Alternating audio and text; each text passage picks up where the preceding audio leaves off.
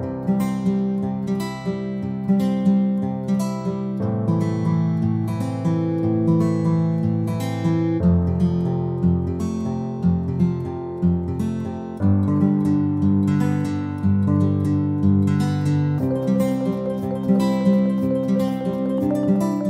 एक वर्ग तैयार हो गया यार ये नौ से पाँच की नौकरी नहीं करना है। आजकल क्या बोलते हैं उसको? नहीं फ्रीलांसिंग वर्क फ्रॉम होम तो उससे बड़ी नौकरी है। उधर दस घंटे करता है ये बारह घंटे करवाता है। बेचारा कहने को घर में है और गाली खाता है घर। ठीक? तो इससे क्या निष्कर्ष निकला? तो मैं ये कहना चाहता हूँ मैं ये कहना चाहता हूँ। एक बच्चे को पैदा होने के साथ एक बच्चे के बारे में हमने कहा कि एक बच्चे को पता है कि ज्ञान मेरी ज़्यादा ज़रूरत बड़ी ज़रूरत है कि खाना मेरी ज़्यादा बड़ी ज़रूरत है। एक बच्चे को पता है। और कितनी अद्भुत बात है, आप देखो, हमारा ध्यान नहीं जाता है। एक बच्चा, मेरा छोटा बच्चा जब स्कूल जाता था तो एक दिन उसकी कॉपी में इंग्लिश का स्पेलिंग मिस्टेक था। तो मैंने उसको बोला, बेटा, ये स्पेलिंग ठीक नहीं है, ये गलत, तुम हाथ नहीं लगाना। कॉपी को हाथ नहीं लगाने दिया। मेरी टीचर मैडम बोली है। टीचर मैडम बोली है तो मतलब ब्रह्मा जी बोल दिए। अब उसमें कुछ नहीं हो सकता। अब मैं उसको कैसे बताऊँ? हर बात पे तो आप स्कूल नहीं जा सकते टीचर को बोलो कि तुम्हारी स्पेलिंग ठीक नहीं है। तो फाइनली एक दिन मेरे को आइडिया आया, मैंने डिक्शनरी निकाला डिक्शनरी उसको दिखाई, मैं देखो तुम्हारी टीचर भी इससे पढ़ती है, हम सब भी इससे पढ़ते हैं, इसमें देखते हैं। उसमें देखा तो मेरी वाली स्पेलिंग ठीक थी। ऐसे तीन बार मेरी वाली स्पेलिंग ठीक निकल गई तो उसको ये भरोसा हुआ कि मेरा बाप भी पढ़ा लिखा है। इसकी बात भी सुनी जा सकती है। ठीक? तो मैं ये कहना चाहता हूँ कि चाहे बाप आईएएस हो जाए लेकिन छोटा बच्चा पढ़ने लिखने के मामले में अपनी टीचर पे ज़्यादा भरोसा करता है, अपना बाप चाहे कितना भी बड़ा हो जाए उसकी तुलना में। अब ये ट्रेनिंग बच्चे को किसने दिया? कभी ऐसा सोचा? ये एक ही बच्चा करता है कि सभी बच्चे करते हैं? सभी करते हैं। इसका मतलब एक बच्चे को किसने बताया? हम लोग जब शिविर करते हैं, जब छोटे बच्चे आते ही हैं शिविर में, वो शिविर लेने वाले को अलग से आँख लेते हैं।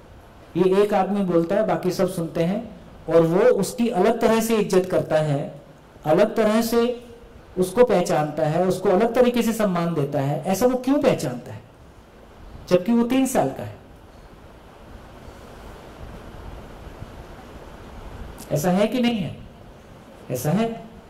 ऐसा क्यों होता है? इसका मतलब है, एक बच्चा पहचानता है कि मेरी ज्ञान की ज़रूरत बड़ी है।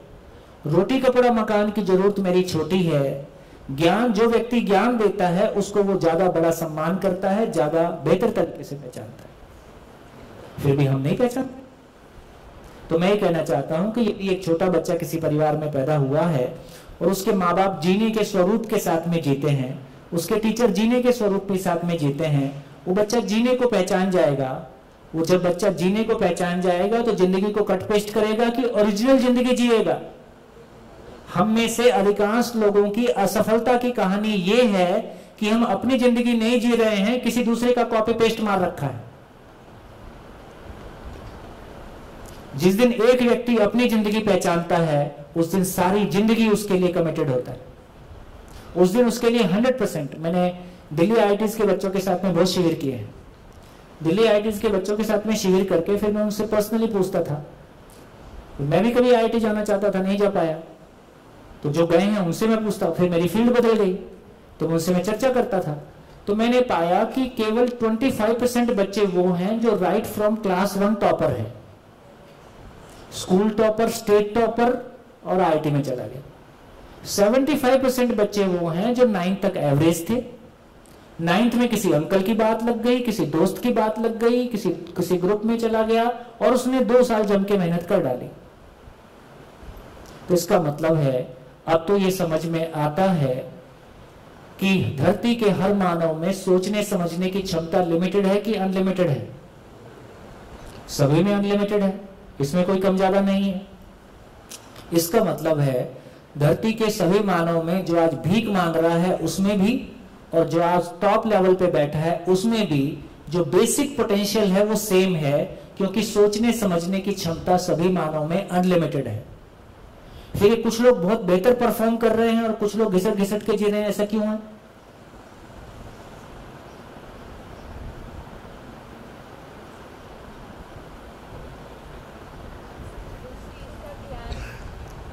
इसका भी नहीं है।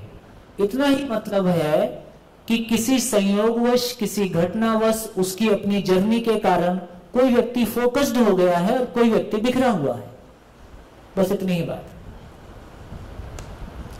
जो फोकस्ड है है ना? जो फोकस्ड है, वो आउटस्टैंडिंग रिज़ल्ट देता है, किसी भी एरिया में चला जाए। क्योंकि वो हर समय वही सोचता है, वही खाता है, वही पीता है, वही सोचता है।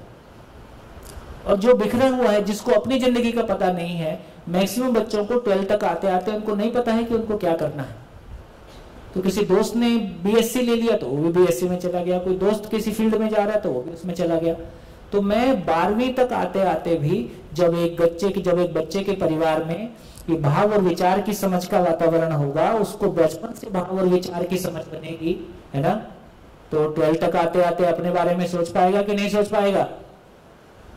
यदि वो सेल्फ असेसमेंट उसके पास होगा, वो स्व मूल्यांकन के साथ में होगा, वो पर मूल्यांकन से प्रभावित नहीं होगा, जिस दिन कोई व्यक्ति दूसरों से प्रभावित नहीं होता है, इसका मतलब वो सौ से प्रभावित होता है, उस दिन वो अपनी ओरिजिनल ज़िंदगी को पहचान पाएगा, इसलिए उसके लिए मेहनत कर पाएगा।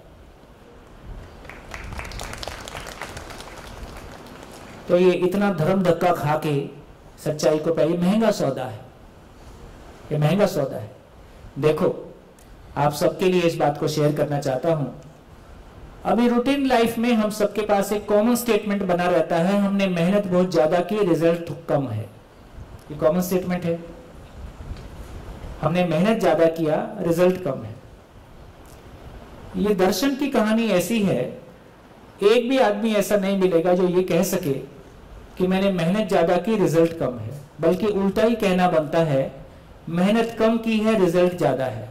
बशर्ते कि आप घंटे में नाप के देखना कितनी मेहनत की है। साल में एक शिविर कर लिया और फिर आप बताओ कि मैं दस साल से जुड़ा हूँ।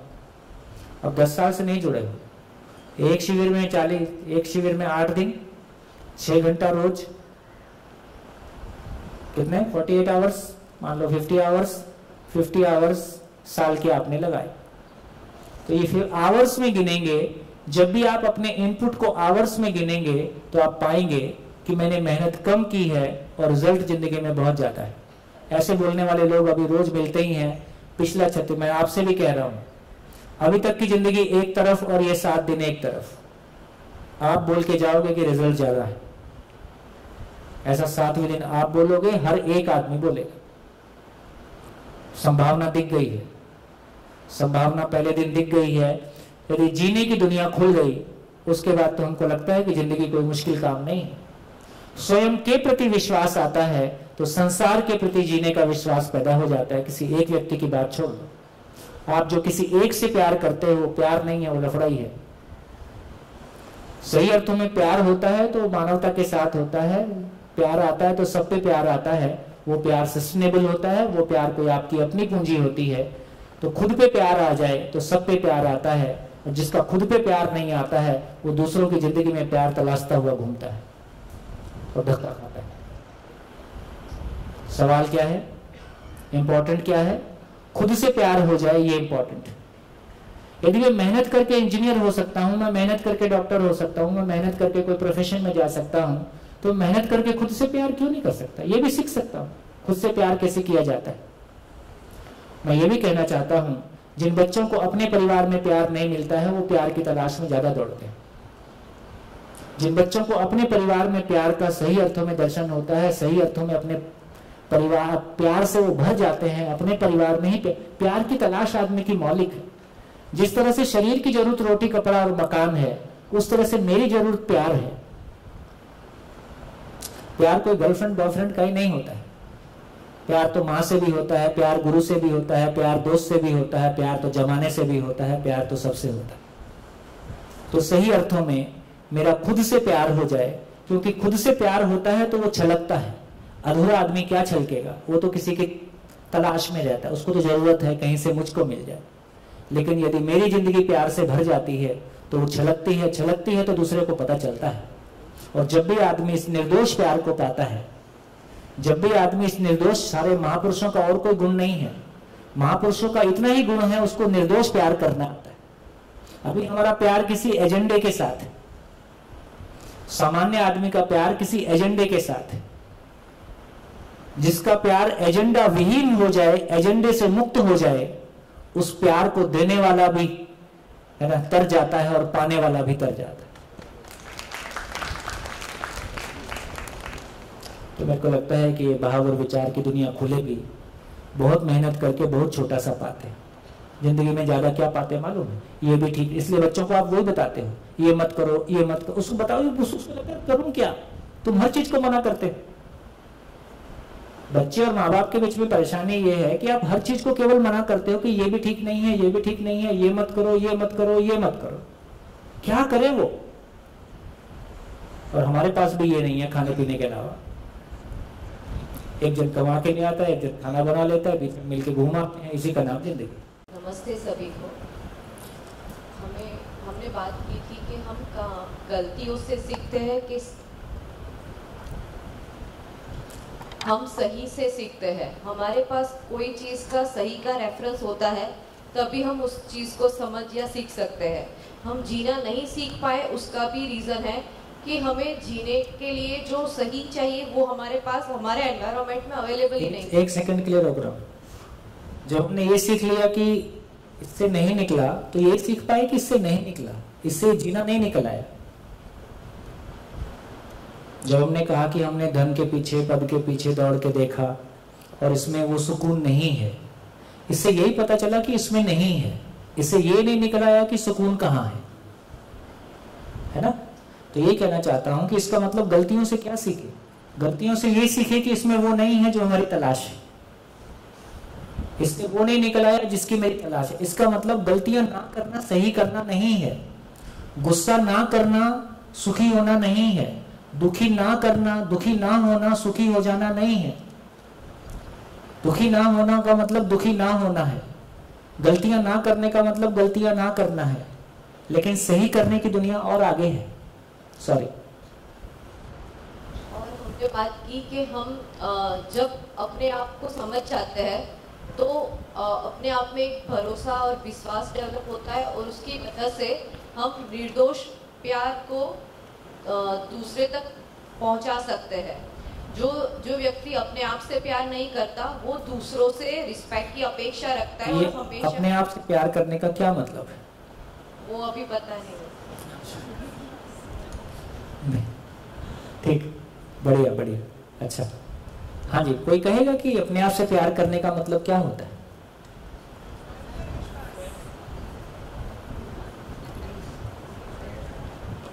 हाँ जी दो लोग हाथ उठा रहे अपने आप को स्वीकारना बहुत बढ़िया। शानदार।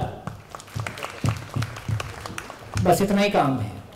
जब मैं अपने आप को टोटलिटी में स्वीकारता हूँ कंप्लीटनेस में स्वीकारता हूँ है ना? एक एक तरह से कहने का ये बढ़िया तरीका है। गुड आप कुछ कहना चाह रहे हाँ? माइक दो भाई माइक ले गए आप। ये भी कुछ कहना चाहते हाँ जी। आपका बहुत बहुत धन्यवाद। थोड़ा फेस उधर कर लेंगे। आपका बहुत बहुत धन्यवाद। जो मैं मेरे मन में था जो मैं जी रहा हूँ आपने मुझे बता दिया कि सबको क्या। प्रेम के पुजारी हम है रस के भिखारी। जहाँ देखो मुझे प्यार लग रहा है प्यार लग रहा है। ऐसे ही जीना है ऐसे ही मरना बहुत बहुत धन्यवाद। जी थैंक यू हाँ बेटा। खुद के ऊपर भरोसा होना वही अपने अंदर का प्यार है। हम्म। और कोई? प्यार मानते हैं। बढ़िया। और कोई कुछ कहना चाहेगा? स्वयं के प्रति, खुद से प्यार होने का क्या मतलब है? और कोई भाषा देना चाहेगा? हाँ जी, एक माइक इधर। खुद से प्यार होना, ये समझने लायक बात है कि ये समझ में आता है तो हमारी ज़िंदगी अलग तरीके से खुलेगी। अभी हम दूसरों से बहुत कुछ चाहते हैं, दूसरों से सम्मान चाहते हैं, दूसरों से प्यार चाहते हैं, दूसरों से इज़्ज़त चाहते हैं। स्वयं स्वयं और खुद को प्यार करना मतलब मेरा जो अस्तित्व है, मैं अभी जिस अवस्था में हूँ, शारीरिक रूप मुझे जो मिला है, मेरी जो हाइट है, कुछ भी है, लेकिन वो हर बात का पूरे सहर्ष स्वीकार है मेरा। वो मैं, उसको मैं स्वीकार करता हूँ और उस स्वीकृति के भाव से निरंतर बना रहता हूँ। वो मेरा खुद पर प्यार है। चलो, इसको दूसरी भाषा में कहेंगे, एक सूत्र लिख सकते हैं।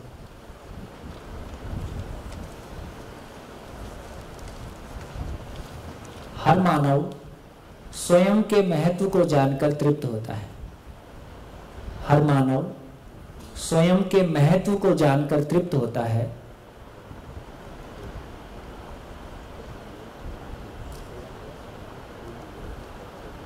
उसकी उपयोगिता ही उसका महत्व है।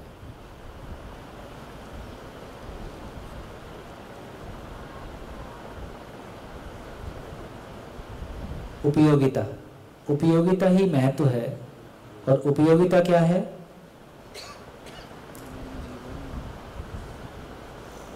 कुछ लोग हैं जो अपने घर तक सीमित हैं। अभी हम क्या कर रहे हैं अपने परिवार में? अपने परिवार के लोगों के ज़िंदा रहने में सहयोगी हैं कि जीने में सहयोगी? ज़िंदा रहने में सहयोगी हैं। कुछ लोग उस सीमा से बाहर निकलते हैं और दूसरे, दूसरों के ज़िंदा रहने में सहयोगी हो जाते हैं। एक लेवल आगे बढ़े। इसको संवेदनशीलता कहा। कुछ लोग दूसरों के जीने में सहयोगी बन गए। ये और उपयोगिता का विस्तार हो गया। तो सही अर्थों में कहा जाए तो दूसरों के जीने में उपयोगी हो जाना मेरा महत्व है। मेरी इंपॉर्टेंस है, मेरी पहचान है, मेरा सम्मान है, मेरी तृप्ति है, मेरा ये लोक है और मेरा परलोक। सब कुछ इतना ही। तो दूसरों के जीने में सहयोगी हो जाना दूसरों के जीने में सहयोगी हो जाना। कौन सहयोगी होगा? जो खुद जी पाएगा कि बिना जिए हो जाएँगे। जो जिसके पास है वही बांटेगा। तो दूसरों के जीने में सहयोगी हो जाना। ये मेरी इंपॉर्टेंस है। ये मेरी उपयोगिता है। ये मेरा सम्मान है। ये मेरी पहचान है। ये मेरी तृप्ति है। ये मेरा सुकून है। ये मेरे होने का अर्थ है। यही ये लोक है, यही परलोक सब पार। एक ही बार में सब पार। है ना? तो चार लेवल हो गए। कुछ लोग हैं जो संवेदनहीन हैं। अपने परिवार के लोगों के भी ज़िंदा रहने में सहयोगी नहीं हो पाते। कुछ लोग अपने परिवार के लोगों के ज़िंदा रहने में सहयोगी हो पाते। कुछ लोग दूसरों के भी ज़िंदा रहने में सहयोगी हो पाते हैं।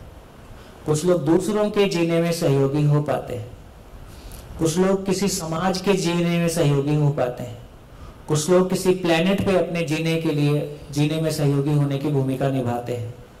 कोई लोग कई प्लेनेट के साथ भी अपने जीने का सहयोग बना सकते हैं। इतना बड़ा विस्तार आदमी का तो यदि एक प्लेनेट पे मानव है तो कई प्लेनेट पे हो सकता है कि नहीं हो सकता है? कोई दूसरे प्लेनेट पे मानव होगा, हो सकता है वहाँ उम्र ढाई सौ साल होती हो हो सकता है वहाँ शरीर आठ फीट के होते हों। ये हो सकता है, क्योंकि उस धरती की भौगोलिक स्थिति के अनुसार वहाँ के शरीर होंगे। लेकिन जो जीने का नियम होगा, जो जीने का स्वरूप होगा, वो पूरे ब्रह्मांड में एक ही जैसा होगा, इसको आगे जाके सम व्यवहार का जो नियम है, जो जीने का स्वरूप होगा, वो एक ही रहने वाला है। तो आदमी के जीने का कितना विस्तार हुआ है, ये आदमी की खुशी का विस्तार है, ये आदमी के सुकून का विस्तार है। यही खुद से प्यार है। मैं कितना उपयोगी हूँ, ऐसा मैं खुद को प्यार करता मैं कितना बढ़िया आदमी हूँ। आदमी नाराज़ होता तो कैसे होता है? जब भी आदमी नाराज़ होगा तो क्या बोलता है? वो यही बोलता है, तुमने मेरे को समझा नहीं। और जब भी आदमी किसी से खुश होता है तो क्या बोलता है? वो मेरे को समझता है। घर में तो कोई समझते नहीं है, बाहर में कोई बोलता है, तुम बहुत सुंदर दिख रही हो। वो मेरे को समझता है। तो फिर बाद में समझा देता है।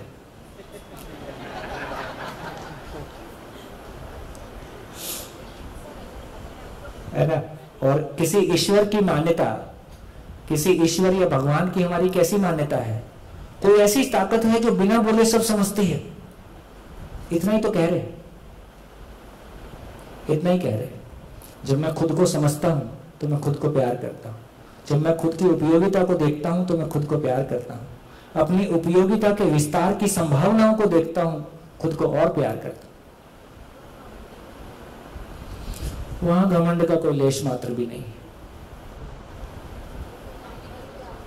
बिल्कुल नहीं आए एटीट्यूड बहुत लोअर लेवल पे आता इस लेवल पे जब आदमी विस्तार देखता है तो एटीट्यूड की आवश्यकता है। एटीट्यूड से जो हम चाह रहे होते हैं, उससे बड़ा मिल रहा होता है ना आपको? एटीट्यूड से हम क्या चाह रहे होते हैं? एटीट्यूड का मतलब है दूसरे को छोटा सिद्ध करना। तुम नहीं हो, इसलिए मैं हूँ। एटीट्यूड का मतलब है कि तुम नहीं हो और मैं हूँ। और प्यार का मतलब है, मैं तुम्हारे होने में सहयोगी हो सकता हूँ। तो दूसरे से आगे बढ़ना है कि दूसरे को आगे बढ़ाना है? दूसरे से आगे वही बढ़ता है, जिसके भीतर आगे, जिसके भीतर पीछे रह जाने का कॉम्प्लेक्स होता है। दूसरों से आगे वही बढ़ता है, जिसको पीछे रह जाने का कॉम्प्लेक्स होता है।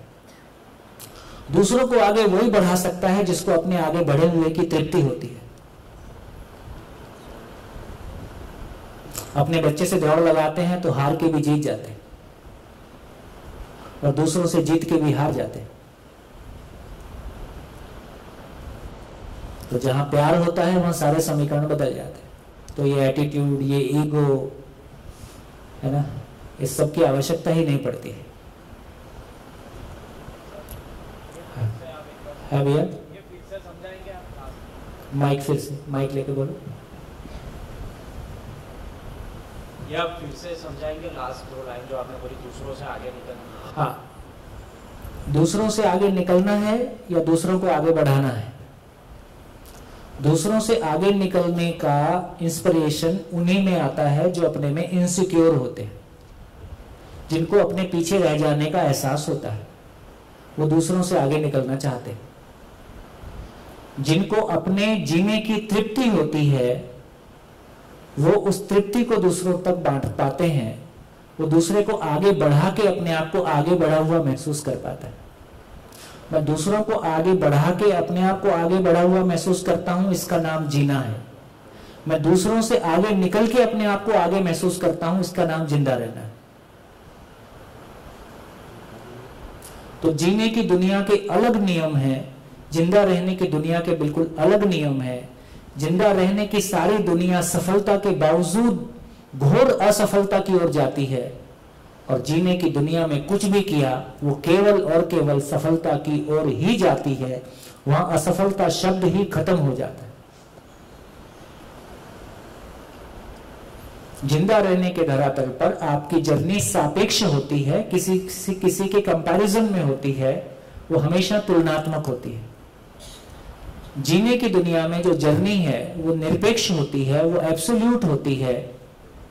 वो किसी दूसरे से कम या अधिक नहीं होती है, बल्कि अपने अधूरेपन को पूरा करना, अपने अधूरेपन से मुक्ति पाना और दूसरों को उनके अधूरेपन से मुक्ति पाने में सहयोग देना। मेरी उपयोगिता का विस्तार ही मेरी पहचान है। हर मानव स्वयं की महत्व को जानकर तृप्त होता है। मेरी उपयोगिता ही मेरा महत्व है। जीने देना ही जीना है, बाकी खाना पीना है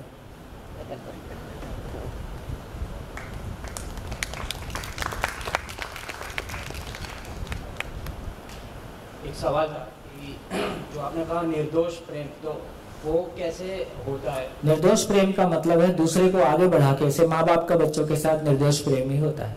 किसी लेवल तक, उसमें बाद में हम कुछ मिक्स कर देते हैं, वो अलग बात है। यदि थोड़ा एग्ज़ाम्पल लेना चाहें, सही अर्थों में कहें तो दूसरे को जीने देना ही जीना है, ये निर्दोष प्रेम है। दूसरे के जीने में सहयोगी होना, दूसरे के जीने में सहयोगी होके अपनी उपयोगिता का विस्तार देखना अपने जीवन की सार्थकता को देखना, अपने सफल, अपने आप को सफल होते हुए देखना, ये निर्दोष प्रेम। कोई अपेक्षा नहीं है आपसे। भौतिक वाली अपेक्षा नहीं। आप आगे बढ़ते, अपना बच्चा आगे बढ़ता तो अपने को देख के खुशी होती। अपना बच्चा अपने से आगे बढ़ जाए तो अपने को अच्छा लगता है खराब लगता है? अच्छा ही लगता है, क्योंकि वहाँ प्यार है, इसलिए सूत्र है। संबंध है तो शोषण नहीं, शोषण है तो संबंध नहीं। जहाँ संबंध है, वहाँ हम पोषण ही करते हैं। शोषण है तो संबंध नहीं है। और शोषण है, इसका मतलब संबंध नहीं है।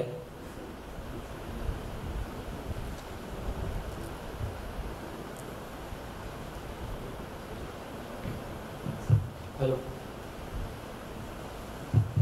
हेलो। सर, जैसे आपने अभी बताया कि हमारी उपयोगिता का जो विस्तार है वो बढ़ेगा। जैसे जैसे मतलब एक एक एक्सटेंट पे फैमिली हाँ। तो अभी भी अभी भी हम कर यही रहे हैं। अभी भी हम चाहते हैं कि शादी के पहले फाइनेंशियली स्टेबल हो जाए। तो फाइनेंशियली स्टेबल होना भी मेरी एक उपयोगिता है कि कम से कम मैं ज़िंदा रहने के लिए अपने आप में सेल्फ रिलायंट हो गया। अभी भी कर यही रहे तो फिर सर आपने जब लास्ट में बताया कि पूरे प्लेनेट के लिए फिर एक दूसरे प्लेनेट के लिए तो वो समझ में लास्ट दिन समझे। सर तो इसका मतलब ये हुआ कि इनडायरेक्टली मतलब हमारे भाव और विचार उस उसके लिए सूत्र है feel universal think global act local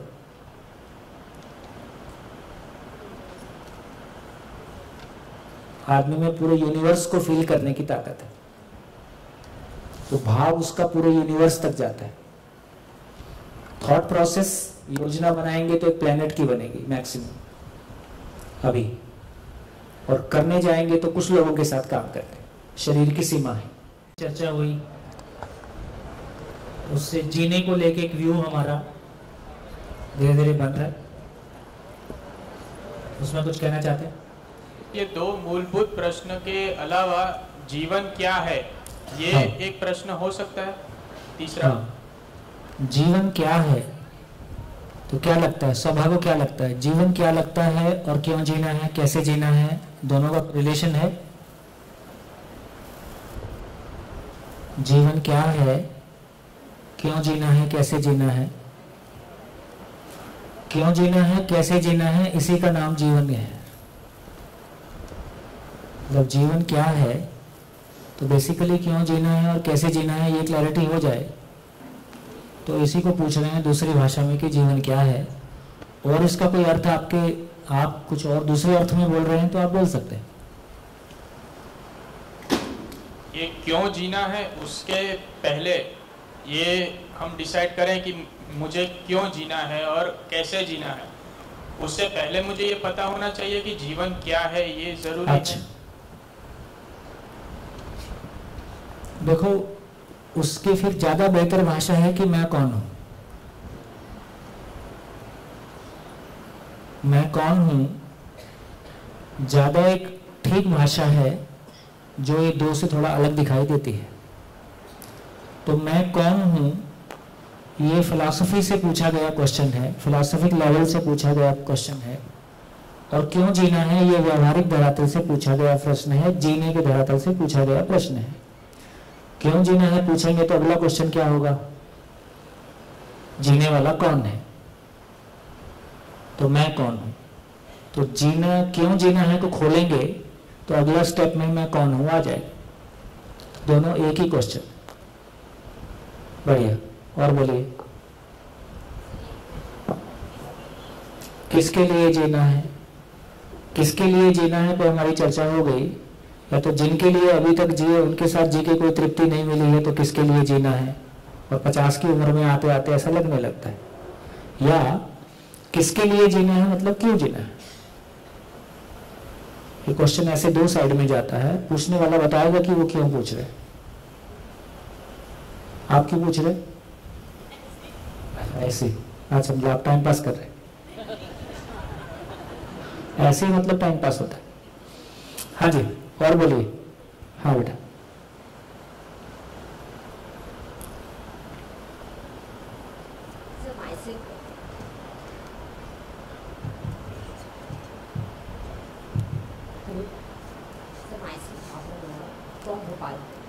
Bhopal किसके थ्रू आई? भाई। भाई। भाई अच्छा ठीक है। थोड़ा माइक ऊँचा बोलो। आपने जैसे बोला खुद से प्यार। बोला हर मानव स्वयं के महत्व को सब जान लेता है।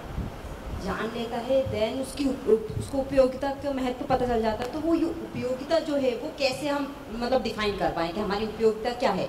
तो उसके बेसिस पर हम अपने आप से प्यार करें। मतलब वो उपयोगिता ठीक है, मैंने कहने के ढंग से तो कहा।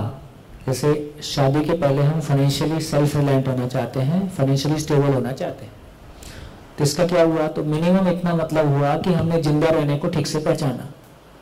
तो ज़िंदा रहने के लिए पैसे की ज़रूरत है और उसके लिए जो भी फ्रेम हमने बनाया तो इसका मतलब है कि कहीं ना कहीं हम अनुपयोगी होकर परिवार में जीना नहीं चाहते हैं। खा रहे केवल और रह रहे, हमारी कोई उपयोगिता नहीं है। तो एक पार्ट को पहचाना।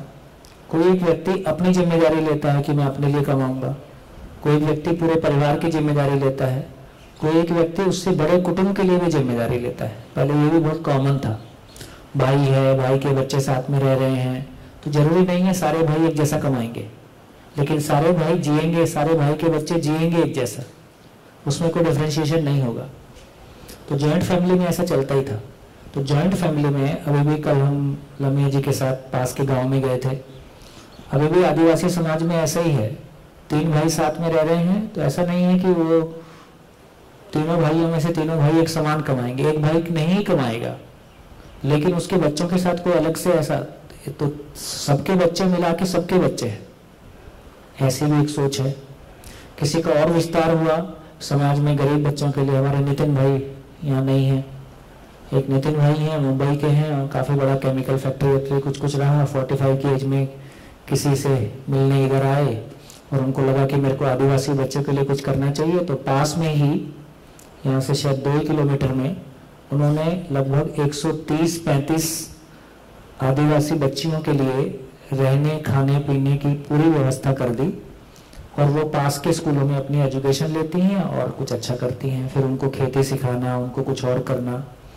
तो कोई पॉइंट पे आदमी को लगा कि मेरी जितनी उपयोगिता है, मैंने परिवार के ढंग से जितना जिया, इसकी और उपयोगिता का विस्तार होना चाहिए। तो दूसरों के जो डिप्राइव्ड वर्ग है, जिसके पास बहुत सुविधा नहीं है है ना? ऐसे तमाम बच्चे अपने कॉलेज करते करते पास के एरिया में किसी गरीब बच्चों को पढ़ाना शुरू कर ही देते हैं, ऐसे भी बहुत सारे लोग देखे जाते हैं।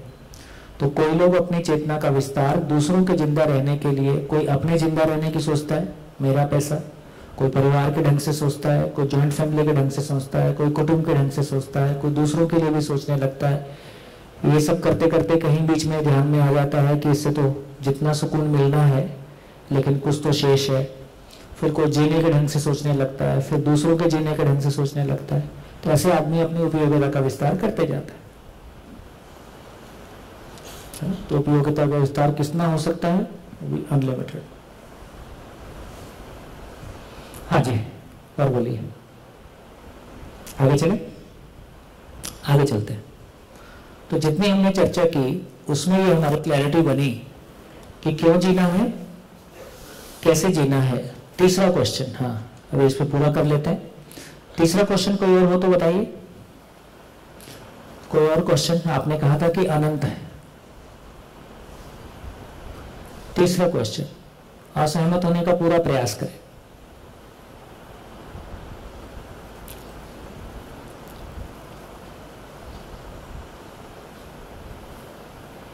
देखो, हम बार बार इस बात को जांचेंगे कि जिस तरह से जब हम फिजिक्स और केमिस्ट्री पढ़ाते हैं, उसके बारे में हर बार हम निश्चित रूप से कुछ कह पाते हैं, इसलिए उसको ऑब्जेक्टिव स्टडीज़ बोलते हैं।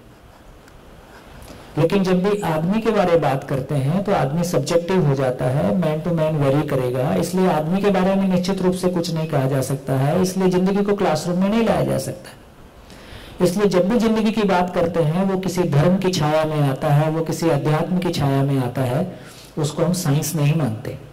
साइंस का मतलब है जो यूनिवर्सल हो लॉजिकल हो प्रैक्टिसेबल हो रेप्लीकेबल हो वेरीफाइबल हो।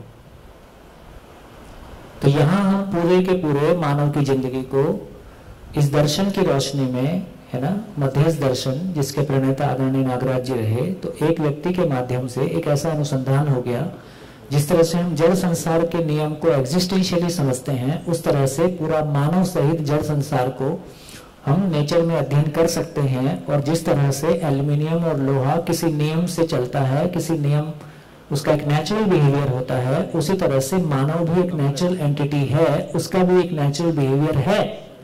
वो हिंदू और मुस्लिम को तय नहीं करना है, वो सिख और ईसाई को तय नहीं करना है, जैन और वैद को तय नहीं करता है। महापुरुष किसको बोलते हैं?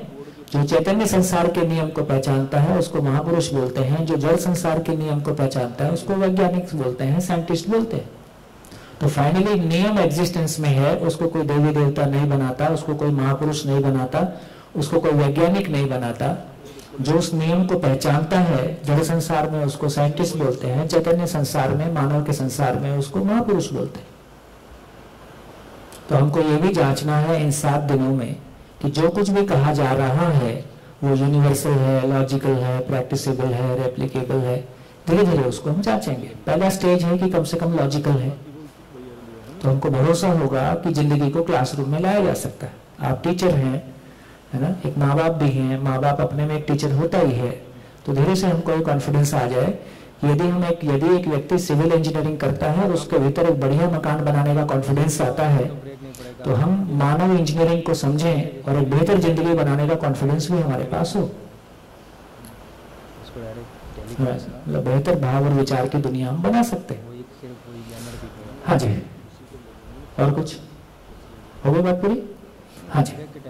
तीसरा क्वेश्चन मैं रुका हुआ हूँ। तीसरा क्वेश्चन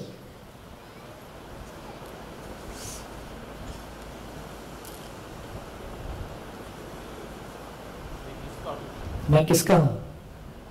मतलब माइक। माइक।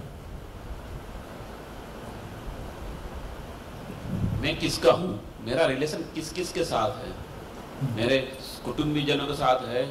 मेरे शहरीजनों के साथ है या मेरे देशवासियों के साथ है? क्या लगता है? मेरा रिलेशन किस किस के साथ है?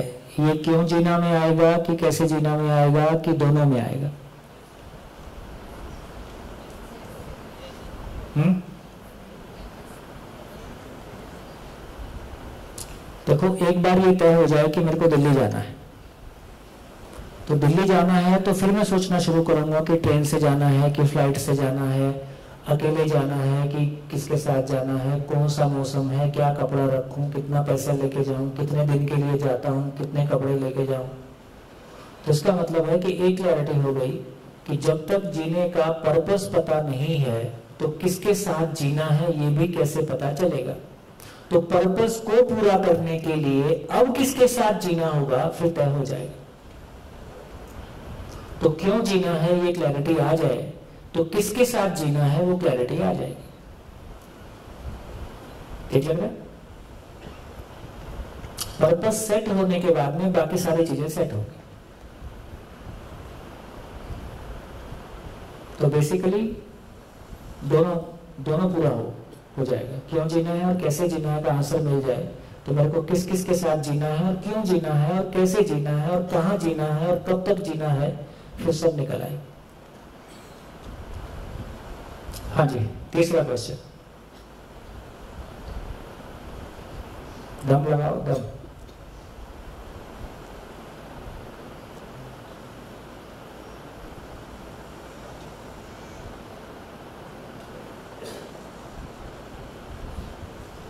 माइक। क्या हेतु से जीना है?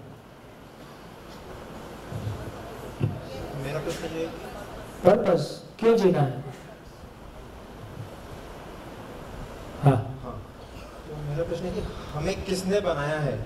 और मतलब ऐसे भी बोलते हैं कि हमने जन्म तो कहीं लिया है लेकिन कई लोगों में पुराने वाले वो भी आते हैं तो क्या पुराना जन्म होता है? तो असल कौन हमें मतलब गवर्न कर रहा है। किसने बनाया? हम कैसे आए यहाँ पे? ठीक बात और फिर जिसने बनाया, वो उसको किसने बनाया? अगला क्वेश्चन उधर भी जाएगा। फिर जिसने उसको बनाया, उसको किसने बनाया? उधर भी जाएगा। तो सार ये निकला, जो बोर्ड पे लिखा है उधर, कि संसार क्या है, मैं क्या हूँ, करना क्या है। ये दो क्वेश्चन ये दो क्वेश्चन जीने के धरातल से पूछे गए प्रश्न हैं। ये दो क्वेश्चन का आंसर उधर किनारे पे लिखा है। फाइनली क्या समझना होगा? ये संसार कहाँ से आ गया? ये सृष्टि किसने बनाई? क्यों बना दी? मैं कहाँ से आ गया? मैं कैसे बन गया? मेरा पर्पस क्या है? दोनों क्वेश्चन का आंसर मिल गया तो फिर करना क्या है? ये निकल आएगी। पुनर्जन्म। तो पहले क्यों जीना है समझ लेते हैं। फिर जीने वाला कौन है, समझ लेते हैं। फिर पुनर्जन्म क्या होता है तो उसको देख लेंगे। हाँ माइक पीछे।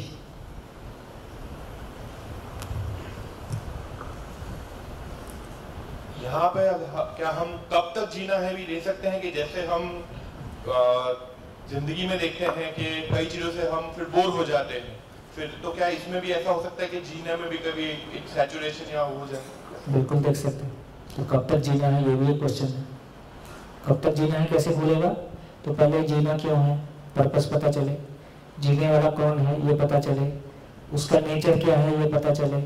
किसके साथ जीना है, ये पता चले। फिर ये भी खुल जाएगा कब तक जीना है।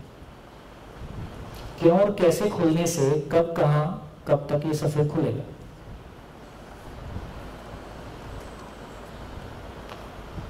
आउट ऑफ़ बॉडी एक्सपीरियंस कैसे करें? पहले मैं हूँ, इसका पता चल जाए। अभी मेरे बाजू का छह फुट का आदमी मेरे को दिखता नहीं है।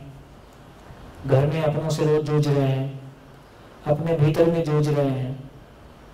तो पहले जूझना ठीक हो जाए तो फिर पता चल जाए कि कोई है कि नहीं है। अब है तो फिर इन बॉडी और आउट ऑफ़ बॉडी तब देखेंगे। देखिए, सूत्र ये है कि जीना समझ में आता है तो मरना समझ में आता है। जीना समझ में आता है तो कौन जीता है और कौन मरता है तब ये पहचान में आता है। फिर कौन जीता है और कौन मर जाता है तो फिर आगे की बात शुरू होती है। तो पहले मैं एक मानव हूँ, ये पहचान सकूँ। मानव हूँ, ये पहचानने का मतलब है स्वयं के प्रति विश्वास, संबंध के प्रति विश्वास, परिवार में शिकायत मुक्ति, अभाव मुक्ति और दूसरे परिवार के जीने में सहयोगी होना, ये मेरे मानव होने का प्रमाण हुआ। अभी हम आकार से मानव हैं कि आचरण से मानव हैं? ज़ोर से बोलो। हम आकार से मानव हैं आचरण से मानव होना विशेष है। क्योंकि हम जूझ अपने से रहे हैं अपनों से रहे हैं। इसका मतलब है कि मानव होना विशेष है। मैं स्पीकर से नहीं जूझ रहा हूँ तो स्पीकर समझ में आ गया है। पानी से भी कभी ऐसा लगा कि प्या, प्या, प्यास लगी है पानी की जगह मिट्टी का तेल पी लूँ गाय का घी पी लूँ ऐसा ख्याल है कोई कंफ्यूजन इस बारे में कभी? तो कम से कम ज़िंदा रहने के मामले में जिन चीज़ों को हमने पहचान लिया है उसमें कल्पना में भी कंफ्यूजन नहीं है। प्रैक्टिकली तो बहुत दूर की बात है। तो इसका मतलब यह हुआ कि जिन चीज़ों में कंफ्यूजन है इसका मतलब उसको मैंने जाना है कि नहीं जाना है? इसका मतलब उसको जाना नहीं है। इसका मतलब उसको जानना शेष और क्यों नहीं जाना है? क्योंकि ज़िंदा रहने वाली चीज़ों को हमने पहचान लिया है। ज़िंदा रहने को जीना माना है, इसलिए जीने को पहचानने की ज़रूरत भी नहीं है। फिर कभी कभी ऐसा हो जाता है कि ये भी करके देख लिया, ये भी करके देख लिया, ये भी करके देख लिया, मज़ा तो नहीं आ रहा है। तो फिर अंतिम लाइन चिपका दी। सुख दुख साथ साथ है, जीवन एक संघर्ष है, संसार माया है। इतने बोल के सब निबट गए जबकि सच्चाई ऐसी नहीं है, संसार माया नहीं है, माया मेरा कंफ्यूजन है। संसार में कोई माया नहीं है। ब्रह्म सत्य जगत मिथ्या।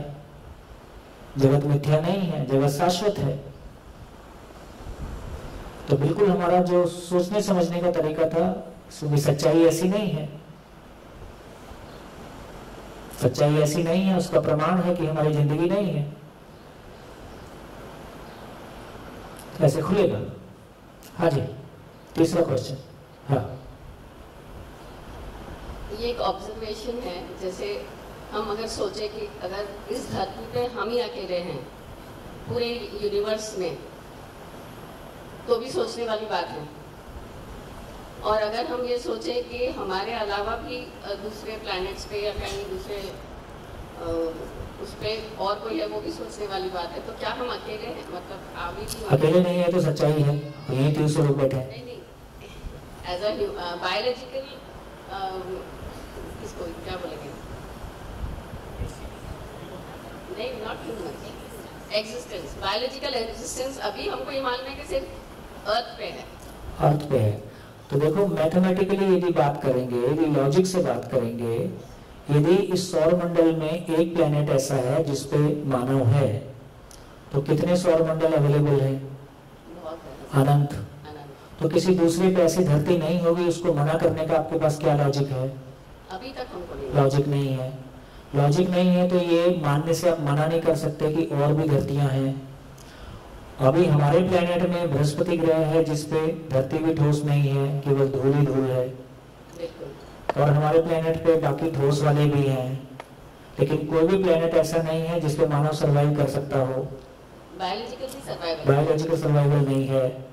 तो एक पे तो है। एक पे है तो अनंत पे हो ही सकता है। कोई प्लेनेट ऐसा भी हो ही सकता है जहाँ मानव परंपरा जागृत हो। इसको कैसे मना करेंगे? कोई प्लेनेट ऐसा भी हो सकता है जहाँ पे केवल पशु है अभी मानव नहीं आया है। तो हम यहाँ यहाँ ही क्यों आए हैं और हम क्यों आए हैं? मतलब हाँ तो पहले हम हैं इसको समझ लेते हैं।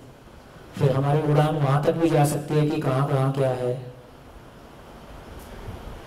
और हम मतलब मरने के बाद वहाँ जा सकते हैं मतलब बिल्कुल जा सकते हैं। कोई दिक्कत होगी मेरे को बता देना।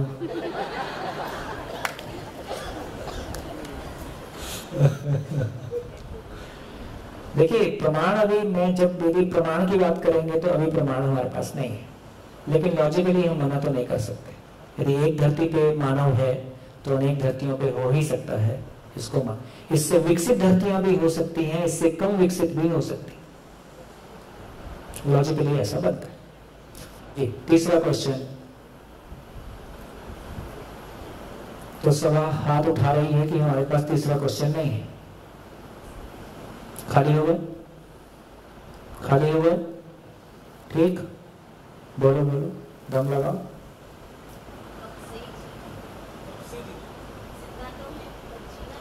चॉइस है आपकी। इस शरीर यात्रा में ना करें तो आगे देख। लेंगे कोई मजबूरी थोड़ी हाँ? जी बोलिए। अगर हमारे आजू बाजू की वाइब्रेशंस सैड है तो उन्हें हैप्पी कैसे करें? आप हैप्पी हो जाएँ। जो जिसके पास है वो उसको बांटेंगे। सिंपल सिंपल हम तो अपने आसपास का वाइब्रेशन को हैप्पी कर लेते हैं। हम कहीं भी जाए, वातावरण हमको प्रभावित नहीं करेगा। या तो हम वातावरण को प्रभावित करेंगे, हम ना भी कर पाए तो भी अपनी खुशी के साथ बने रहेंगे। कोई हमारी नहीं सुने तो क्या होगा? क्या कर सकते कोई बात तो हमारी ना सुनो, ये कर सकते हो। पर हम तो अपनी सुन ही सकते हाँ। जी। तीसरा क्वेश्चन हो गया? खत्म? आगे चले। तो क्या निष्कर्ष निकला? मात्र दो क्वेश्चन अस्सी साल। धरती की सारी यूनिवर्सिटी धरती के सारे धर्म, सारी फिलॉसफी सारी विचार यात्रा, सारे माँ बाप सारे समाज को मिलके केवल दो क्वेश्चन का आंसर करना है कि क्यों जीना है, कैसे जीना है, क्योंकि तीसरा क्वेश्चन एग्जिस्ट नहीं करता है। एग्जिस्ट नहीं करता है। दो क्वेश्चन अस्सी साल, मात्र इतना काम। तो देखिए, जिसके पास ये दो क्वेश्चन की जिज्ञासा है, जिज्ञासा और प्रश्न में क्या अंतर है? जिज्ञासा और प्रश्न। इंग्लिश में बता देते हो। इंग्लिश में बताने थोड़ा मीनिंग थोड़ा देते ओहो ओहो। पढ़ाते रोज हो ऑब्जर्वेशन नहीं है। किसी भी चैप्टर के पीछे क्या होता है? क्वेश्चंस होते हैं। वो क्वेश्चंस कौन करता है? वो क्वेश्चन कौन करता है? टीचर करता है कि स्टूडेंट करता है? टीचर करता है। क्यों करता है? ये जांचने के लिए कि मैंने जो कम्युनिकेट किया, वो कम्युनिकेट हुआ कि नहीं हुआ? तो सही अर्थों में एग्ज़ाम किसका है? टीचर का। तो टीचर क्वेश्चन करता है ये जांचने के लिए कि जो मैंने कम्युनिकेट किया, वो हुआ कि नहीं हुआ? इसका नाम क्वेश्चन है।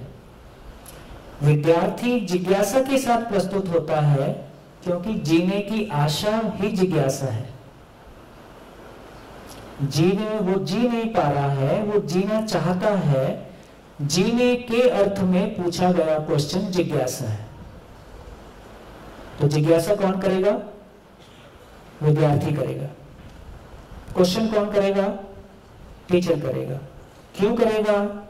मैंने जो कम्युनिकेट किया, वो हुआ कि नहीं हुआ, ये जांचने के लिए करेगा, ताकि मैं और मैं बेहतर क्या कर पाऊँ कि कम्युनिकेट हो पाए। ऐसा। चलिए। तो जिसके पास ये जिज्ञासा है, उसका नाम विद्यार्थी है। और विद्यार्थी 80 साल का हो सकता है।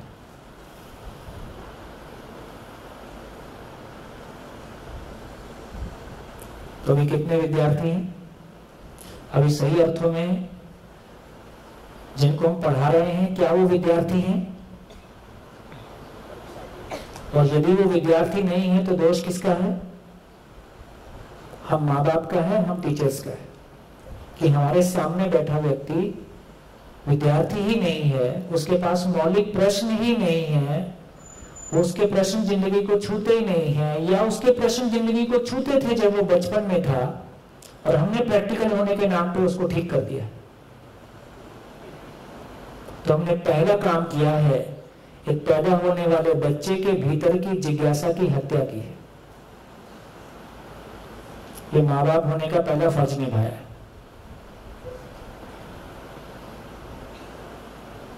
माँ बाप होने का मतलब एक बच्चे के भीतर जीने की जिज्ञासा पैदा हो जाए, या जीने की जिज्ञासा खत्म हो जाए, केवल ज़िंदा रहने की जिज्ञासा में रह जाए। तो हमको फ़र्क समझ में आता है, फिर तय हुआ कि हमारा संवाद कैसा होगा। हम अपने बच्चे के साथ क्या संवाद करें? हम खुद के साथ क्या संवाद करें? अपने आप से क्या बात करें? तो क्लैरिटी तो जिज्ञासा का मतलब विद्यार्थी की विद्यार्थी परिभाषित हो गया, जिसके पास जीने के लिए, जिसके पास जिज्ञासा है, उसका नाम विद्यार्थी है, और जिसके पास इसका उत्तर है प्रैक्टिसेबल आंसर है, उसका नाम माता पिता है। उसका नाम शिक्षक है। शिक्षक 20 साल का हो सकता है।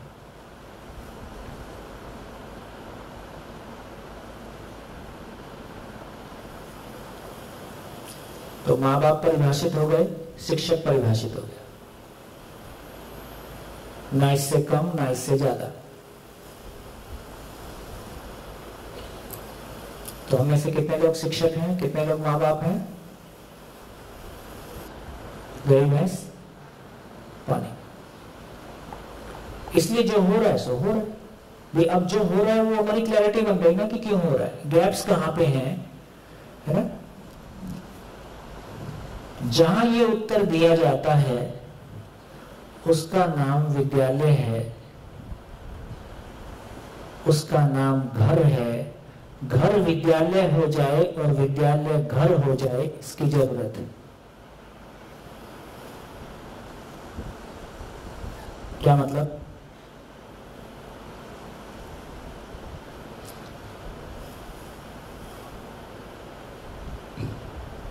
क्या मतलब? कौन बोलेगा? विद्यालय घर हो जाए और घर विद्यालय हो जाए।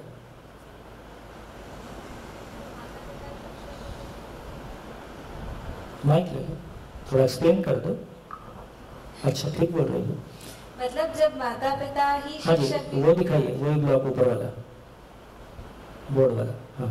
जब दोनों लोग दोनों रोल प्ले कर सके माता पिता खुद माता पिता के शिक्षक का भी रोल प्ले कर सके और शिक्षक भी माता पिता का रोल प्ले कर सके। थोड़ा सा और समझा ठीक बोल रही अभी क्या कमी है? अभी माता पिता शिक्षक नहीं है क्या है? नहीं शिक्षक नहीं है एक्चुअली क्या है? हाँ ये माता पिता अपने विचार थोपने वाले बच्चों पे। थोपते हैं। थोप। और बच्चा कितना ही बड़ा हो जाए फ़ोन पे पहला क्वेश्चन क्या रहेगा? खाना खाया खाना खाया क्या? केयर टेकर ज़्यादा है और क्योंकि केयर नहीं आता ही खाना खिलाना है बस।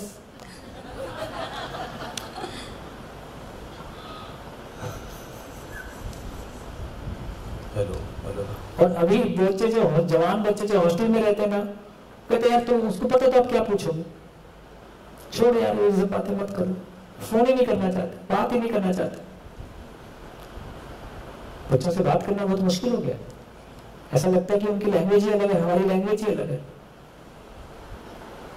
और अब क्या लगता है? इसमें वो ज़्यादा गलत है कि हम गलत हैं? शायद हमारे पास कुछ नया नहीं है बात करने के लिए, जिसमें उसको बात करने का रुचि हो। और आप भी पूछ रहे, आपको भी पता है कि जो आप पूछ रहे हैं, उसका कोई ज़्यादा मतलब है नहीं। जैसे हम किसी से बातचीत शुरू करते हैं, कैसे हो? इसका कोई मतलब होता नहीं है। ये केवल बातचीत शुरू करने का तरीका है। वो कहता ठीक हूँ। ना वो ठीक है, ना आप ठीक हो।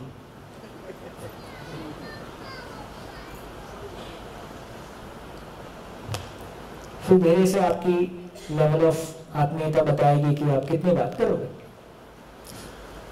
तो क्या मतलब हुआ? और टीचर माता पिता क्यों नहीं है?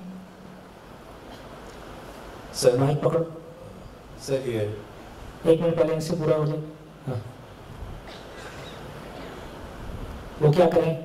टीचर्स क्या करें? और क्या नहीं कर रहे?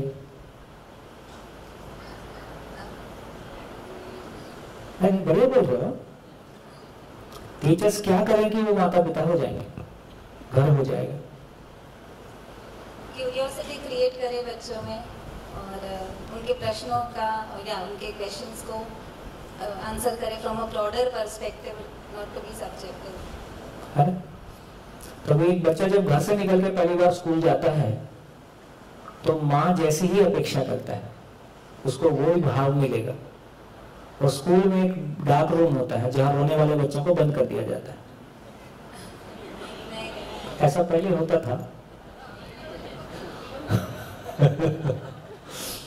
या उसको वैसा ट्रीटमेंट तो नहीं मिलता है जैसा ट्रीटमेंट वो चाहता है, क्योंकि आपके पास उतना टाइम भी नहीं है, वैसा कोई भाव भी नहीं है, आपके लिए भी वो जॉब है ना? तो जॉब और ज़िंदगी में फ़र्क है। कम से कम टीचिंग जॉब नहीं है। टीचिंग ज़िंदगी देने का नाम है। तो वो जो क्वालिटेटिव फ़र्क है तो विद्यालय घर हो जाए घर कैसा है? कुल मिला के घर धीरे धीरे फाइव स्टार होटल हो जाता है। जैसे जैसे घर में पैसा आता है, घर फाइव स्टार होटल बनने की तरफ़ जाता है स्कूल भी फाइव स्टार होटल बनने की तरफ़ जाता है। दोनों ही विद्यालय नहीं है तो घर में यदि माँ बाप को जीने का स्वरूप होगा तो घर में माँ बाप है ना, शरीर के पोषण के साथ साथ फिर बेसिकली जीने की बात भी होगी। तो विद्यालय को घर हो जाने की ज़रूरत है, घर को विद्यालय हो जाने की ज़रूरत है। घर की जीवन शैली और विद्यालय की जीवन शैली में बहुत अंतर होगा। तो वो बच्चे के लिए बहुत अनुकूल नहीं है, इसलिए आजकल इस तरह की बातें भी आ रही हैं कि कम से कम प्राइमरी एजुकेशन मेरी आवाज़ ज़्यादा? हेलो कि प्राइमरी एजुकेशन मदर टंग में हो, है ना? क्योंकि जब आप उसको इंग्लिश बोलने पे फाइन लगा देते हो, हिंदी बोलेगा तो फाइन लग जाएगा किसी को स्टैंडर्ड और बहुत सारा कुछ हमने कहा। तो इससे हम एक इन्फिनिटी कॉम्प्लेक्स तो दे ही रहे हैं कि देखो तुम्हारी मातृभाषा में बोलना अपराध है। तुम्हारी मातृभाषा दो दर्जे की है। क्या बोलते हैं? सेकेंड ग्रेड है। इंग्लिश बोलना फ़र्स्ट ग्रेड है। तो कहीं ना कहीं जिस तरह का चीज़ें हम आरोपित कर रहे हैं उसके ऊपर, है ना? इससे उसके भीतर का इंसान दब जाता है। उसका कॉन्फिडेंस लेवल दब जाता है। तो कैसे क्या किया जाए कि आदमी ग्रो करे? तो जहाँ इसका उत्तर दिया जाता है, उसका नाम विद्यालय है और सभी को इसका आंसर मिल जाए यही समाज और सरकार का काम है। मैं सरकार नहीं लिखता हूँ, व्यवस्था लिखता हूँ। तो यही समाज और सरकार का काम है। इतना ही कुल काम है पूरे विश्व के लिए, पूरे विश्व की सारी सरकारों के लिए। ये मूल काम हो गया, उसके बाद सब काम बहुत आसान है। कैसा लगता है? हमारा डिफेंस का बजट लगातार बढ़ रहा है कि घट रहा है? बढ़ रहा है ना? और डिफेंस का बजट लोगों का बढ़े, जिनका डिफेंस का बिज़नेस है, उसको विश्व में अशांति बनाए रखना उसकी ज़रूरत है। तो देश आपस में लड़ते रहे, इनका सामान बिकता रहे तो मैं उस बहुत बेसिक्स में नहीं जा रहा हूँ, लेकिन यदि हमने यदि हमने बाई एजुकेशन आदमी को प्यार से जीना सिखा दिया तो इस वो विश्व में डिफेंस की ज़रूरत नहीं पड़ेगी, वो थर्टी परसेंट बजट जो डिफेंस में लगता है, वो एजुकेशन में लगे ज़रूरत इस बात की। एक माँ बाप के लिए सबसे इंपॉर्टेंट चीज़ क्या है? उसके बच्चे। और एक फैमिली के लिए सबसे इंपॉर्टेंट चीज़ क्या है? हेल्थ एंड एजुकेशन तो हमारी हेल्थ का कोरोना काल में पता चल गया। हमारी एजुकेशन का भी कोरोना हायर एजुकेशन का पिरामिड पहले से ही गिरा हुआ था। ठीक? और कुल मिला के स्कूल एजुकेशन का पिरामिड भी कोरोना काल में गिर गया। एक माँ बाप ने घर में देखा, बच्चे कैसे, क्या पढ़ाया जा रहा है, क्या पढ़ रहे हैं, क्या सब। तो सबको जो भूत था एजुकेशन का वो काफ़ी ढीला पड़ा है। विकल्प की ज़रूरत है। कहीं ना कहीं ये तमाम जो दूसरी कंपनीज़ हैं, उनके लिए बड़ी अपॉर्चुनिटी हो गया। बाईजूस जैसी कंपनी और तमाम ऐसी कंपनीज़ के लिए। मैं तो कभी कभी सोचता हूँ कि स्कूलों को जानबूझ के भी गिराया गया शायद। जैसा मेरी कल्पना है, मैं गलत हो सकता हूँ। इतने लंबे समय तक पेरेंट्स को फ़ीस ना देने के लिए उकसाया गया, इतने लंबे तमाम मिडिल वाले मिडिल लेवल के स्कूल साफ़ हो गए। कभी कभी मैं सोचता हूँ ये कंपनीज़ के लिए एनवायरनमेंट क्रिएट कर रहे हैं क्या? जितने स्कूल बंद हो जाएँगे, वो सारे स्कूल बायजूस जैसी कंपनी से कनेक्ट होंगे। बायजूस जैसी कंपनीज़ ऐसी बहुत सारी कंपनीज़ अब आ रही हैं, बहुत तैयारी के साथ आ रही हैं। तो शायद आने वाले समय में एजुकेशन का ये जो भौतिक ढांचा है, शायद ये हो सकता है बीस साल बाद ये रहे ही नहीं। जबकि हमने ये भी देखा कि ऑनलाइन एजुकेशन जैसा कुछ बहुत हो, आदमी के, आदमी को आदमी की ज़रूरत है। ऑनलाइन एजुकेशन बच्चों का तो बिल्कुल ही संभव नहीं है। बड़े लोगों में फिर भी कुछ हद तक ठीक है। लेकिन फिर भी अल्टीमेटली आदमी का कोई विकल्प नहीं है। तो बहुत सारी चीज़ों को जब आप सोचेंगे तो हमारा ध्यान इस बात पे जाएगा कि एजुकेशन हमारे लिए इम्पोर्टेंट है कि बिज़नेस हमारे लिए इम्पोर्टेंट है। और यदि एजुकेशन माँ बाप के लिए इंपॉर्टेंट नहीं है तो किसी सरकार के लिए, किसी कंपनी के लिए क्यों इंपॉर्टेंट होने लगे? हम माँ बाप समाज का हिस्सा ज़्यादा है कि बाज़ार का हिस्सा ज़्यादा है? ठीक से बोलो। हम माँ बाप भी तो हाँ अच्छा। हमारा भी तो दौड़ उतना ही है कि हमारी सैलरी कैसे बढ़े, ज़्यादा पैसा कैसे आए? तो माँ बाप की भी दौड़ उतनी है कि ज़्यादा पैसा कैसे आए? बाज़ार की भी दौड़ उतनी है कि ज़्यादा प्रॉफिट कैसे आए? जब हम सारे लोग पैसे के लिए ही दौड़ रहे हैं तो बच्चों के लिए कौन देखेगा? हम तो खुशी बनाने गए थे, बीच में बच्चे आ गए। और क्या? हम लोग छोटे थे तो हमारे घर वाले बताते थे, भगवान देता है। अभी भगवान रात को छोड़ के चला जाता है। पता चला घर में भगवान देते हैं।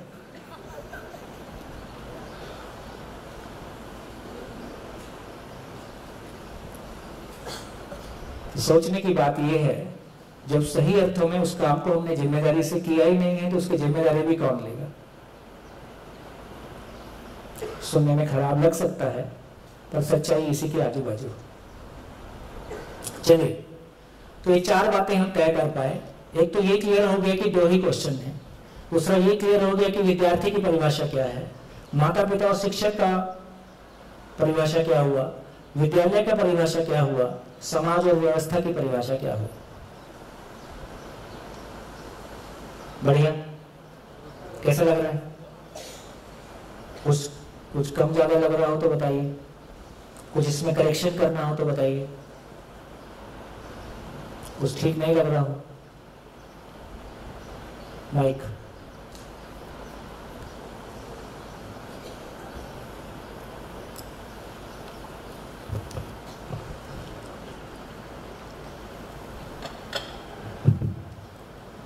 थोड़ा सा कंफ्यूजन है आपने बोला कि विद्यालय को घर हो जाने की ज़रूरत है और घर को विद्यालय हो जाने हाँ। की मैं स्पष्ट कर दूँ कि मैं क्या बोल रहा हूँ? विद्यालय को घर हो जाने का मतलब है कि जो एक भाव का अभाव विद्यालय में है स्कूल चलाने वाले के लिए वो एक कमर्शियल वेंचर है। उसके लिए बच्चा एक प्रॉफिट मेकिंग मशीन है। मतलब मैं कहूँगा तो आपको अच्छा नहीं लगेगा लेकिन हम लोग मतलब शिक्षा सही अर्थों में देखा जाए तो शिक्षा वो चीज़ है जहाँ समाज कहीं से भी कमाए और अपने बच्चों पे इन्वेस्ट करे, क्योंकि वो सबसे बड़ा इन्वेस्टमेंट है। वो सही अर्थों में हमारे भाव की अभिव्यक्ति है। तो जिस तरह का कमर्शियलिज्म एक किसी 18 साल के बच्चे से पूछो कि समाज के साथ तुम्हारा क्या रिलेशन है, क्या बोलेगा? क्या बोलेगा? तुम्हें बोलो, क्या बोलोगे? समाज से तुम्हारा क्या रिलेशन सोचना पड़ता है। और ये गलत नहीं है। उसको समाज से मिला भी क्या है? कि जब से एक बच्चा पैदा हुआ है माँ बाप के अलावा उसने हर चीज़ पैसे से खरीदी है तो वो बाज़ार को पहचानेगा कि समाज को पहचानेगा? समाज जैसी चीज़ हमारी भाषा में एग्जिस्ट करती है एक्चुअली ये एग्जिस्ट ही नहीं करती है, क्योंकि परिवार ही एग्जिस्ट नहीं करता है। परिवार कब एग्जिस्ट करेगा? जहाँ पार लग जाए, उसका नाम परिवार है। पार लग जाए मतलब ज़िंदगी पा जाए। जिस पर्पस के लिए आए थे, वो पर्पस पूरा हो जाए। जब परिवार ही परिवार नहीं है तो समाज कहाँ से बनेगा? सारे समाज में अध्यक्ष कौन होता है? जिसके पास पैसा ज़्यादा है। समाज अपने आप में एक राजनीतिक अड्डा है। समाज की एक्टिविटी क्या है? जो सालाना समाज के फ़ंक्शन होते हैं, उसमें क्या करते हैं? उसमें कोई सामाजिक एक्टिविटी नहीं है, किसी भी समाज का। क्योंकि हमको जब परिवार समझ में नहीं आया, हमको जब मानव समझ में नहीं आया, हमको ज़िंदा रहना और जीने का डिफरेंस पता नहीं चला तो हमारी सारी एक्टिविटी भी वैसे ही हमारे यहाँ अग्रवाल समाज में कुछ कुछ पहले कभी थोड़ा बहुत लोग जुड़े हुए थे तो एक मिनट में कितना सामान खाएगा, आइसक्रीम कितनी खाएगा? और ऐसा पता नहीं क्या क्या चलता है समाज के कंपटीशन बहुत सारा ऐसा भी चलता है। सब कोई मतलब नहीं होता। खैर तो क्या निकला? विद्यालय में वो भाव हो जाए। इसलिए विद्यालय की बहुत अच्छी परिभाषा है। अभिभावकों की संयुक्त अभिव्यक्ति विद्यालय है। पेरेंट्स का जॉइंट एक्सप्रेशन स्कूल है। अभिभावकों की संयुक्त अभिव्यक्ति का नाम विद्यालय है। तो विद्यालय क्या है? जहाँ पे कुछ पेरेंट्स ने मिलकर तय किया है कि हम अपने बच्चों को ज़िंदगी देंगे। तो विद्यालय देने का नाम है कि विद्यालय लेने का नाम है? तो विद्यालय वो जगह है जहाँ हम देने के लिए खड़े हुए हैं। और कौन लोग देने के लिए खड़े होंगे? जिनके पास देने लायक कुछ होगा? तो अभी जब मैं कुछ कहूँगा तो आप अपने पे मत लेना। अभी जब मैं ऐसा बहुत कुछ बोलता रहूँगा तो आप अपने पे मत लेना, क्योंकि आप एक टीचर हो, आप एक स्कूल में काम करते हो, या आप एक स्कूल को चलाते हो। हम जो भी कर रहे हैं, अपनी तरफ़ से कुछ अच्छा ही कर रहे हैं, जितनी हमारी समझ थी वैसे ही कर रहे हैं, लेकिन 20 साल बाद में क्या ऐसे ही चलेगा? हम जो भी कुछ कर रहे होते हैं, उसमें कोई क्वालिटेटिव चेंज हम करना ही चाहते हैं, उसमें कोई गुणात्मक परिवर्तन करना ही चाहते हैं हमने अपने कपड़े पहले से अच्छे किए हैं, हमने मोबाइल भी अच्छे किए हैं, गाड़ी भी अच्छे किए हैं। हम अपने घर भी अच्छे करेंगे, हम अपने स्कूल भी अच्छे करेंगे, लेकिन 20 साल बाद का स्कूल कैसा होगा? और सही अर्थों में एक विद्यालय कैसा हो यदि सही अर्थों में एक विद्यालय की बात करेंगे तो सही अर्थों में एक बच्चे के लिए, एक बच्चे की दुनिया उसके माँ बाप और उसके टीचर है। जिस दिन किसी एक बच्चे का अपने माँ बाप और टीचर से विश्वास उठता है, उसकी पूरी दुनिया से विश्वास उठ जाता है। जो कि फिफ्थ क्लास तक उठ जाता है। या टेंथ क्लास तक उठ जाता है। आप देख लीजिए। देखिए, एक बढ़िया बात है ऑब्जर्वेशन के लायक बात है। जब तक कोई व्यक्ति किसी को श्रेष्ठ मानता है, वो उसके सामने कैसा आचरण करेगा? मैं आपके लिए एक अजनबी हूँ। हमारा परिचय पुराना नहीं लेकिन आज हमारा दूसरा दिन है। आपका हर दिन मेरे प्रति भाव कैसा होने वाला है? ये मैं जानता हूँ सातवें दिन तक समापन होते होते हमारे बीच में बहुत एक आत्मीय रिश्ता हो जाएगा। आपका मेरे प्रति एक भाव सम्मान का हो जाएगा। जो लोग इस वर्कशॉप को ऑर्गेनाइज कर रहे हैं, उनके प्रति भी एक अच्छा भाव होगा। क्योंकि धीरे धीरे हमारे को ये बात खुलती चली जाएगी कि ये कार्यक्रम क्या है क्यों है मेरे लिए इसकी क्या इंपॉर्टेंस अब यदि मैं आपके सामने से गुजरूँगा तो आप, आप, आप मेरे को किस निगाह से देखोगे और आप मेरे साथ कैसा आचरण करोगे या आप कैसा आपकी बॉडी लैंग्वेज कैसी होगी? ये बदल जाएगी है ना? जो बच्चे आपका सम्मान करते हैं वो आपके सामने कैसे प्रस्तुत होते हैं?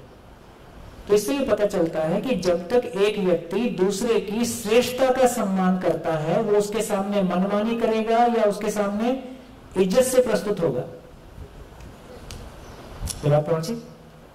यदि हमारे परिवारों में, हमारे बच्चों ने मनमानी करना शुरू कर दिया है तो इसका मतलब? इसका मतलब? इसका मतलब या तो हम श्रेष्ठ नहीं हैं या हमारी श्रेष्ठता उन तक कम्युनिकेट नहीं हुई है।